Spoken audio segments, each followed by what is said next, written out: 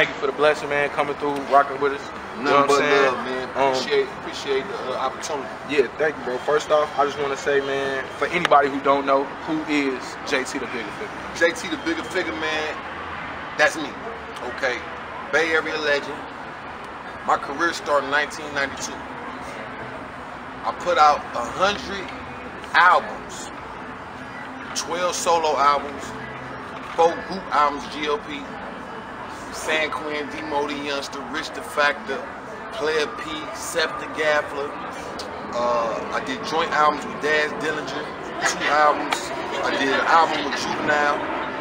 I did an album with Gucci Mane. I Did an album with Kevin Gates before he was Kevin Gates. Mm-hmm. Uh, I got an EP with the boy Young Thug when he was a okay. Uh, and I done did about 30 movies. Mm. Um, but just to take y'all back so y'all get an understanding, I'm from the Bay Area, San Francisco, Fillmore District, West Coast I moved to Atlanta 2010. Mm. Um, 2012, that's when I came with the name Figg Panamera. I had bought a Porsche Panamera and uh, was already calling me Figg, you know what I mean?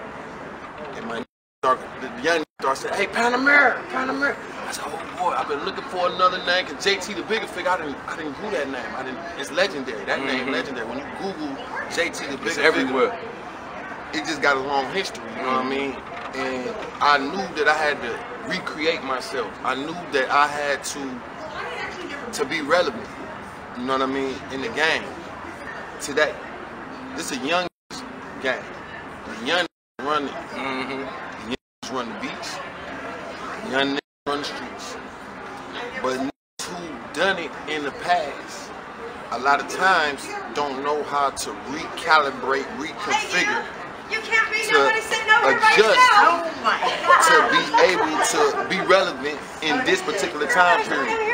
You know, you can't live off all your old work. Mm. When I went to Atlanta, like, oh yeah, JT Bigga Figga, oh yeah, he was on i'm Unbodied uh, soundtrack, yeah. West Coast back, you know, C-Bo, E40, Schmitz, all okay, that's cool. Is or can be your best benefit. Why? Because man, I sent out so many demos, man, them folk ain't called me back, man. It's my ego. Like, man, I didn't, I just, back then, wasn't no email. Mm-hmm. It wasn't no internet. Mm-hmm. It wasn't none of that. You had to put a package together. Mail it. And if you mail it regular mail, your shit go to the bottom. Mm-hmm. But when I start looking up executives and, you know, A&Rs for labels, FedEx that, but that's $35, right. $42. Depending on where you send it. You got 25 labels. Your pockets, you got to have some money right, just right. to send your demo. Long story short, it didn't happen. 93, the very next year, I worked on the album all the way to the end of the year, November. Players in the Game. Um, my my first album that I produced everything in my bedroom. Y'all tired of waiting on beats, tired of waiting to get in the lab.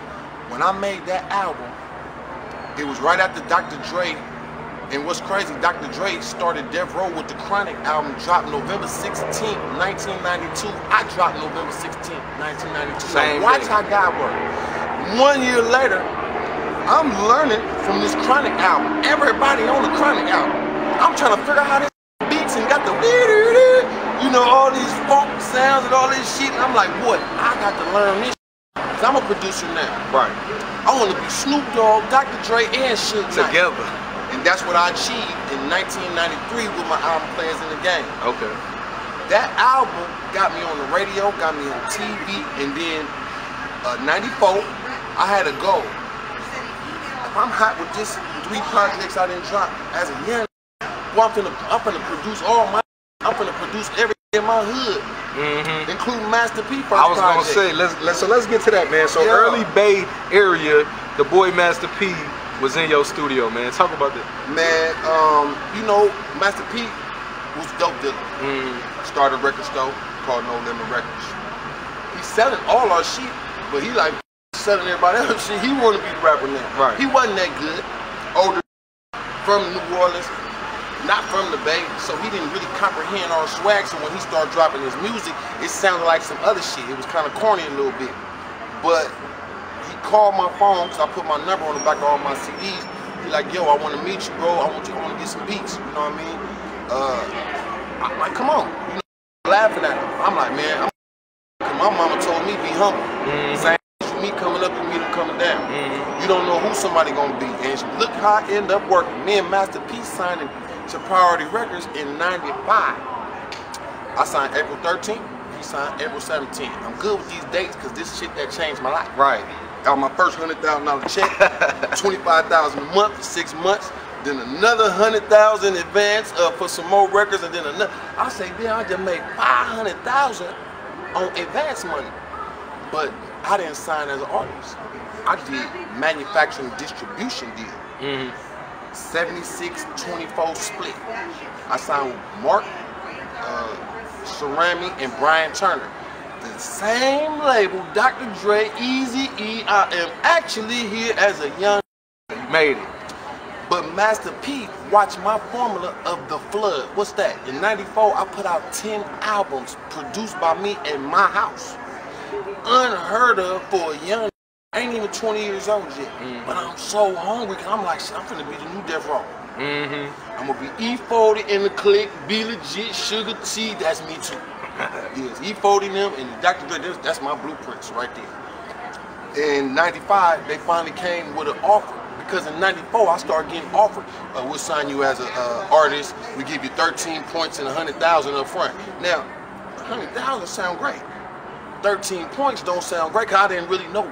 They didn't say percentage, 13%. 13 points. You got to figure out what a point means. Mm-hmm. If you don't ask, all you know back then, looking at the cash advancement, that bitch said 100,000. Three years with five year option. Okay, I could do three years with these folks for this money. No, five year option mean they got five more years, their option, not yours. Right. So Priority Records, they didn't do that. But Master P watched me in 94, blood. Like how this young killing me, killing me. The youngest CEO. So that's what he did. it. 95, he dropped, uh, no, 94, he dropped West Coast Bad Boys. Mhm. He dropped a solo. Uh, he dropped one of the named Lil Rick. But in 95, when he got the deal, he said, boy, Figg, I'm up body. I'm gonna go back to the South. I'm gonna take this game to the South. I didn't, he offered me to come down there, but I'm like, I don't know nothing about no South, you feel me? We California, West Coast. Little did I know he was gonna use my formula on a big scale though. Putting the album covers on the inside, I started that. I taught him that. He said every now and then, but he didn't tell people back then. He like, hell nah, I'm a genius, I'm a whiz. And I used to be, I learned that jealousy is poison. Jealousy, if you can check your own jealousy, then you set yourself up to achieve. Envy is worse than jealousy. Boy, I hope he can kill him. I hope he die. He got a movie coming out, I'm about it. It's than theater. Oh, shit.